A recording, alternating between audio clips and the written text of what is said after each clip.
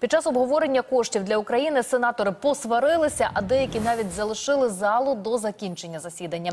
Про це пишуть The Guardian і Wall Street Journal. Кілька республіканців покинули закритий брифінг, на якому так і не виступив Володимир Зеленський. Вони заявили журналістам, що не дізналися нової інформації та марно згаяли свій час. У коментарі журналістам NBC сенатор демократ Кріс Мерфі сказав, що вчорашній брифінг перетворився на політичний театр.